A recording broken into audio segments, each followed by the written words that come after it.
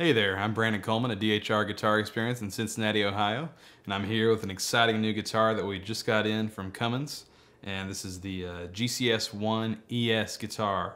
This is the semi-hollow offering from Comins' new imported line from Korea. These are awesome guitars. Um, they're made overseas, but they're shipped over, and Bill Comins puts all the finishing touches on.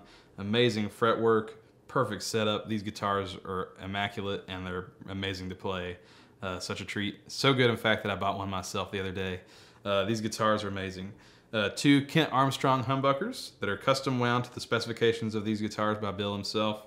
Spruce top on this model. The S model has a spruce top. The uh, other one has a maple top. So this one's a little more punchy, a little warm, a little more suited to jazz, whereas the other one's more suited to blues and rock. Not to say this one can't do those things as well, but it's just a little darker tone. Uh, it's got a mahogany back and sides, and I think this is capped over some African sapele wood, if I'm not mistaken. And uh, really, really beautiful work on this guitar. Uh, all the hardware is top notch, the fretwork is impeccable, and the setup is just unbelievable. The polished ebony fretboard is a really, really smooth playing, uh, you know, piece of wood that you can just fly around on all day. And we got ebony accents too with the uh, tuners here, these nice high quality Wilkinson tuners.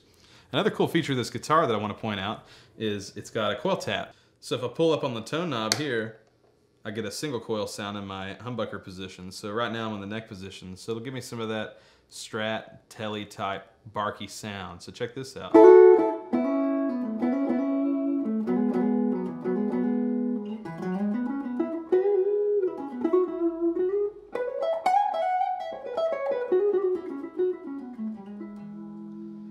And then back to humbucker, you can notice the difference.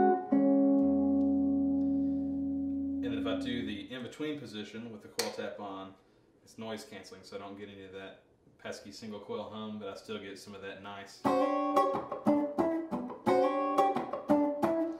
funky single coil spark.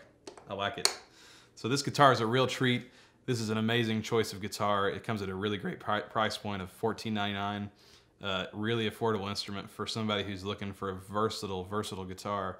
Uh, perfect for the touring jazz musician, touring any kind of musician really, and it's perfect for somebody who's studying music and wants a really high quality instrument to perform on while they're in one of those kind of programs. Or it's a great guitar if you don't like any of that stuff and you just want a really cool guitar. So come on down to DHR Guitar Experience and check one of these guys out. I think you'll really be pleased.